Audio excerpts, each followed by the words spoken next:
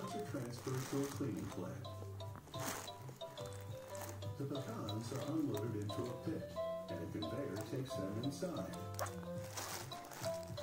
The pecans funnel into a slotted drum and tumble around. The drum sorts the dehusked pecans from those that have retained their husks. In this enclosed machine, spinning wire brushes remove more of the husks.